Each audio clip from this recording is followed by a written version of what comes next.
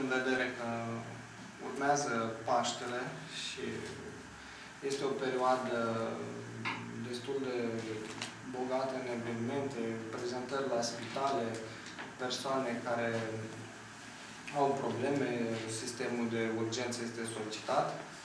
Am uh, luat măsura de a cere spitalelor să ia mă, uh, măsuri pentru asigurarea liniilor de gardă, pentru asigurarea medicamentelor și materialelor sanitare.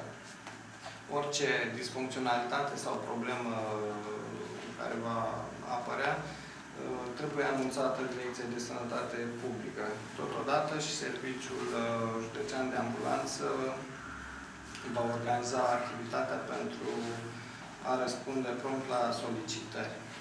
Așa cum știm, în fiecare an numărul uh, urgențelor în zilele de Paști uh, crește semnificativ.